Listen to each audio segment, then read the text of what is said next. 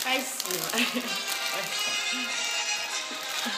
Вероника, мы тебя поздравляем от всей семьи с твоей новой работой и желаем тебе больших успехов, удачи, счастья и много-много новых работ.